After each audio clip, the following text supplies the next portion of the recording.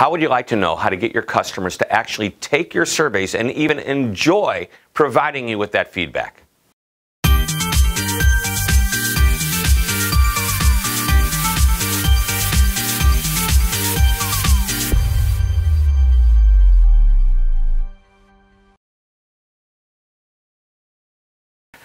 Hi, Shep Hyken here, customer service and experience expert. And today I'm going to talk about how you can get your customers to take your surveys.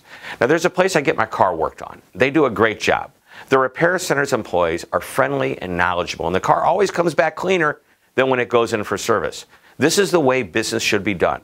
The head of the service department mentioned that I would be getting a survey emailed to me and asked if I would take a few minutes to complete it. And sure enough, a day later, the email survey showed up in my inbox. I'll always remember the first survey.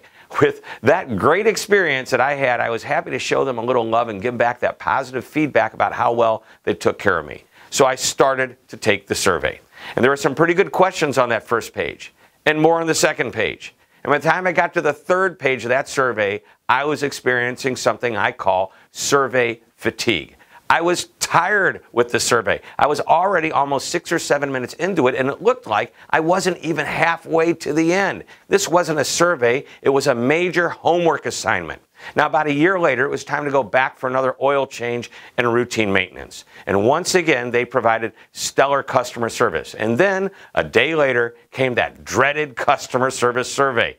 The same survey. Now, I would have thought that maybe it might be different for a repeat customer. I told my friends about the ridiculously long survey and joked that it took longer to fill out the darn survey than it did to get the oil changed. And by the way, I didn't fill that survey out and haven't since the first one I received several years ago. What made me think about that story was that in the past few weeks, several subscribers to our newsletter emailed me about how to get more responses to their customer surveys. That's a great question, and here are two of my favorite ways to do so. Number one, first, don't wait two weeks or even two days to send out that survey. Consider getting the survey to customers within 24 hours while the experience is still fresh in their minds. Maybe even get it to them within minutes. When I take an Uber, as soon as the ride is over, I receive an email asking me to rate the driver and leave a tip, if appropriate. And I respond every time. Number two, don't make the survey too long. You don't want to frustrate the customer with survey fatigue. Consider short surveys that take one or two minutes to complete.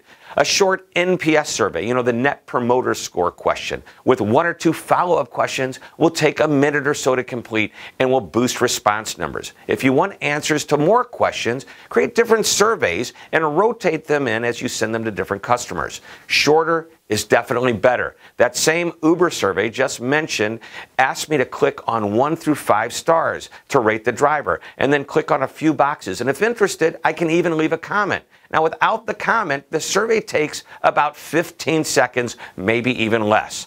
So, the next time you want customer feedback in the form of a survey, send it quickly and make it short. Then watch for an increase in the number of customers who respond.